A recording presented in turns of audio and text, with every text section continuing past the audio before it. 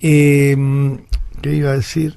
¿Te acuerdas cuánto hace que te vengo hablando de la doctora Figueroa? Salió, salió, no lo podía creer. Yo dije, esta es la de Babi. Esta es la que están sacando la de Babi. Con foto y todo, la vi, la conozco ahora. Bueno, mire, aquí, pues, ahí tiene el hijo laburando en Comodoro Pi también. Sí, ya El sé. hijo está con chavo.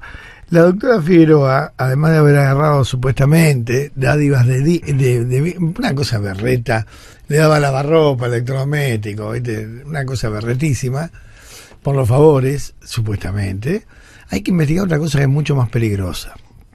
Y lo dijimos hace dos años y nadie me da bola, tres años.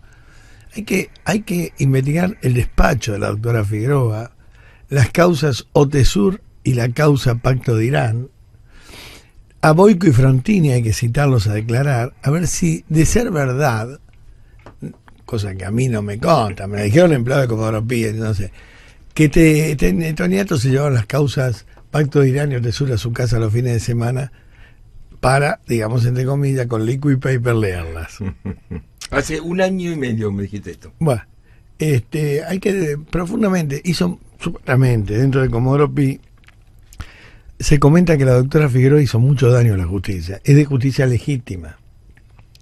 Es como era Oscarcito Ha- Harbour o Howard, ese que renunció por acosador de mujeres, por sinvergüenza, ¿no? Un misógino importante que fue el marido de la jueza Shopping. Lo digo todos los días para que ese fue juez de la nación, juez penal en Comodoro Pi. Un misógino importante, golpeador de mujeres, a su segunda mujer la tuvo secuestrada con un tramontina en la garganta y embarazada le pateaba los tobillos mientras daba de mamar al hijo. Este, eran de la runfla de justicia legítima, justo a Figueroa, Boico Frontini y un, par de sinvergüenzas más. Entonces, después de que el ángel durante dos años lo denuncia, ahora aparece en los diarios que lo van a pedir en Suri. Sí. Eh, hablando de sinvergüenza, reaparece el mariposón Zaffaroni diciendo que si se va Macri, se tiene que ir Macri para que esto funcione. Si se van antes vamos a tener menos deudas. Si se van antes podemos resolver el problema. Que se vayan antes puede ser que se vayan en 2019. Esto nos está llevando a una catástrofe. Sí. Eh, si se van, obviamente, antes, Yo abro cuatro prostíbulos más. podemos resolver el problema, dijo. Claro, especialmente si vamos hacia Venezuela, que es lo que yo quiero. En su, Me en su- faltaba agregar eso. En su trajinar, en su trajinar de flor en flor, Eh, ay, sí, dejó, de- dejó esca- el galerón primaveral dejó escapar esta A frase. cierta edad, ¿sabe qué pasan estas cosas? Queda feo. Sí, yo no voy a hablar de Zaffaroni. Pero realmente, recién le dije a Lalo Mir cuando estaba en la puerta, le abrí la puerta a Lalo y la puerta me empujaba, ¿no? Mm. Le digo, cuando la puerta de la radio tiene más fuerza que vos, tenés que irte. es buena frase. Es buena frase. Y, cua- y cuando tribunales, la puerta del tribunal tiene más fuerza que tu dignidad, tenés que irte y no hablar más. Yo creo que Zaffaroni con el tema de los prostíbulos es el menos indicado para hablar. Yo creo que, mira, hoy estaba pensando, realmente no tenía editorial. Después vamos a hablar del choque. Pero Eve de Bonafini, Carlotto, Zaffaroni, los indios estos, este, los hermanos pelotudos estos que están presos, los, los Sala, Ah, eh, no Wala, Wala. con, la, mo- con la, la imbécil de la madre. mm. El premio Nobel de la Paz, este, la planta de lechuga esta de Pérez, Pérez Esquivel. Esquivel. ya no tienen más ni voz ni voto. Se- eh, y yo creo que es una cuestión folclórica escucharlos hablar. Yo creo que es como, son como esos loros viejos que tenés en tu casa, que le decís cada tanto cuando viene una visita. Y el loro te lo repite lo único que hizo en su puta vida. Pero lo dicen a conciencia, no es que lo dicen No, por calentura, nada, No, lo no, piensan y lo dicen. no, ¿eh? golpistas. Y te- fachos y golpistas. Yo creo que hay gente que ya está directamente, son esos loros viejos que repiten lo mismo y que pasan a ser parte del folclore, parte del folclore de un país en decadencia. Son tan decadentes, Zaffaroni, Bonafini, el loro viejo de la tía Piruca, y Boico y Frontini, y Figueroa, ¿le viste la cara a Figueroa? Sí, sí, sí. Son tan decadentes que pertenecen a una foto que uno nunca quiere participar de un país. Eso muestra la degradación genética de los argentinos. Yo creo que los argentinos hemos tenido en los últimos años, no es una degradación moral, no. Yo pensaba, es una, y ahora voy al tema, es una degradación genética.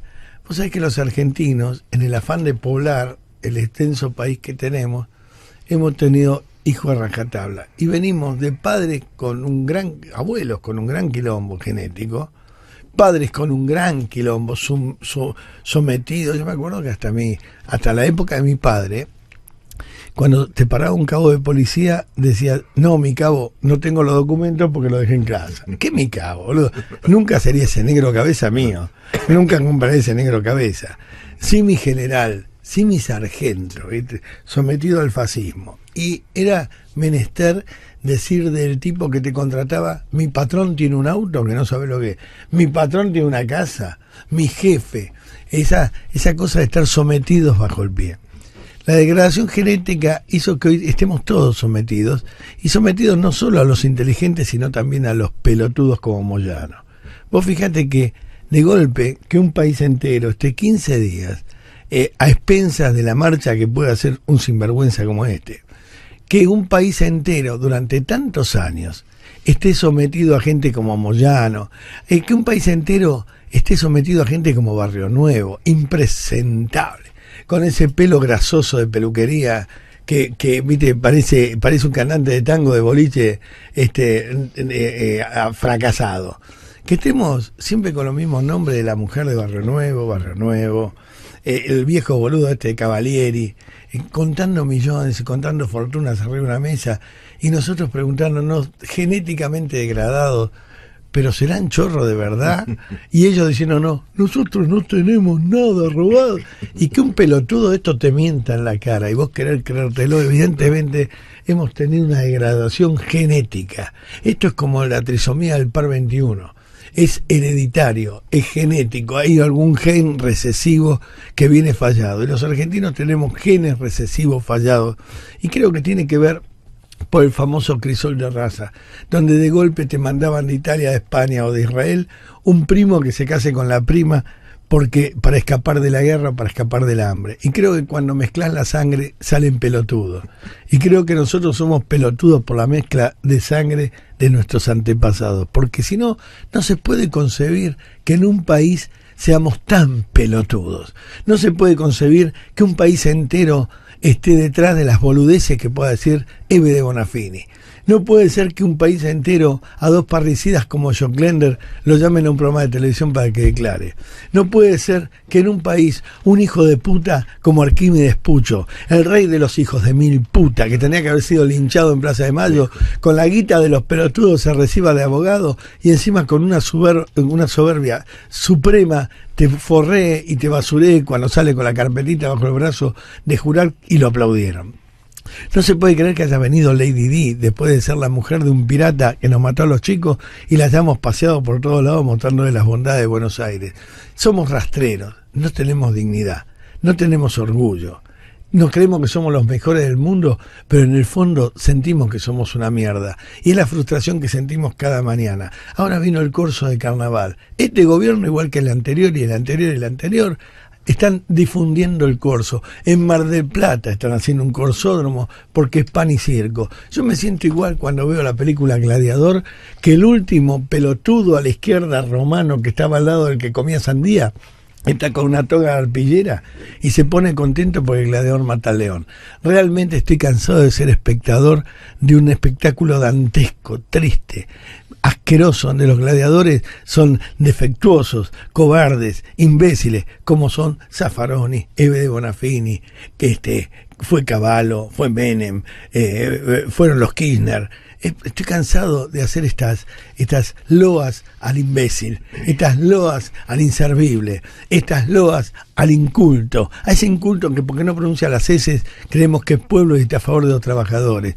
Estoy cansado, o el culto que por hablar de, justicia o por hablar de filosofía lo tomamos como emblema y lo ponemos allá arriba y lo endiosamos como a Zaffaroni creyendo que la señora justicia es él. Puede ser que sea la señora pero no la justicia. Y realmente me da asco vivir en un país donde están tan subvertidos los valores, donde no se le da bola al que labura, no se le da bola al que estudia, no se le da bola al que no se droga, no se le da bola al que triunfa y andamos corriendo atrás de tres putas de gran hermano. Realmente esto quiere decir como editorial que es light, para empezar, un fin de semana donde usted seguramente, que es un pelotudo, que es un gran pelotudo, que me está escuchando de casualidad, no porque puso la radio, porque a lo mejor sin querer se aviva, y está yendo al corso para que lo distraigan cuatro días como un pelotudo y le sigan afanando los 361 días de sueldo que le queda.